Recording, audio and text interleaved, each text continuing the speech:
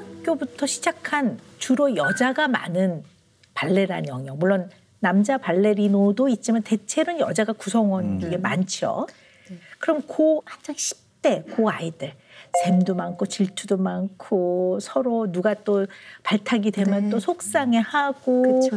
화도 나고 삐지고 막 요런 나이대란 말이에요. 요 나이대에 사실 주원 씨 같은 경우에 좀 내향적이시고 조용하시고 네. 그러면 이 발레라는 걸 통해서 연습할 때는 거울에 있는 나의 모습과 내가 몰두하고 무대에 섰을 때는 발레리나인 김주원과 관객과의 관계인 거지. 음. 그러니까 대인 관계가 발레리나로서 무대에 섰을 때 가장 편안하고 안정되는 거죠.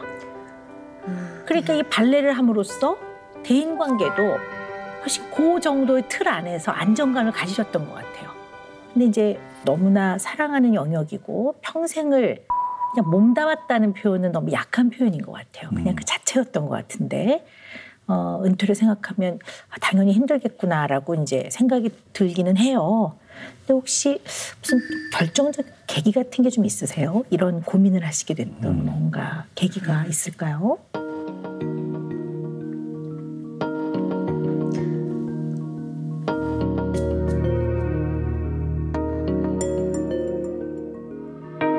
제가 2017년도에 음. 어, 디스크가 완전히 터져서 어. 한달 반 정도를 병원에 누워서 생활한 적이 있어요.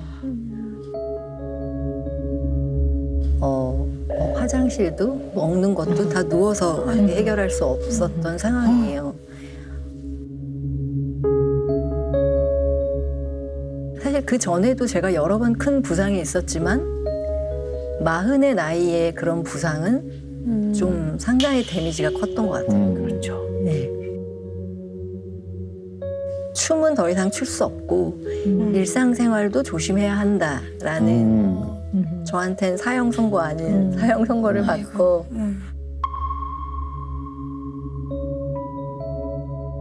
이제 한 달 반 후에 어머님 아버님 댁으로 들어가서 쉬었어요. 정말 천천히 걸어서 공원에 누워서 그 여섯 살 이후로 처음 하늘을 본 것 같았어요.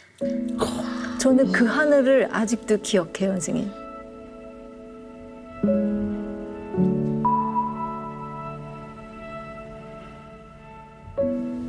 처음으로 저는 아 저런 하늘이 있다고? 파란 하늘이 엄마 너무 예뻐요. 그랬더니 엄마가 몇 시간이고 저를 그냥 두시더라고 그 하늘을 보게. 이제야 하늘을 본 거야 이렇게 얘기를 하시고 디스크 좀 터져야 저는 하늘을 본 거예요, 선생님.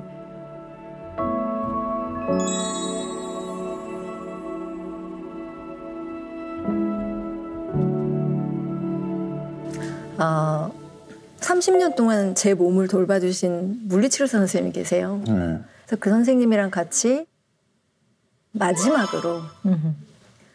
다시 한번 해보자. 최선을 다해서 해본 후에 안 되면 저 포기할게요. 음. 그래서 누워서 한 달 동안 숨쉬기 운동부터 시작했어요.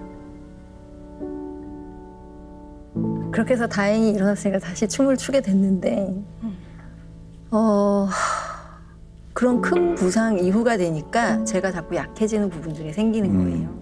인정하고 싶진 않지만, 드러내고 음. 싶진 않지만, 음. 네, 그러면서 아, 내가 무대를 내려가는 상황을 이제는 떠올려야 되나? 음. 라는 생각을 그때 하기 시작했던 것 같아요. 음.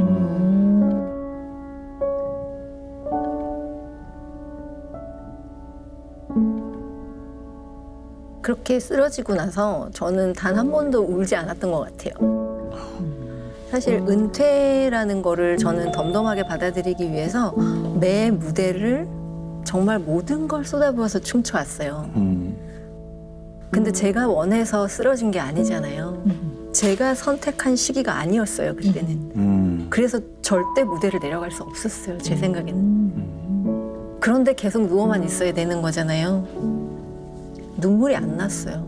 아. 이걸 이겨내야지 생각밖에 없었어요. 진짜 지독하게.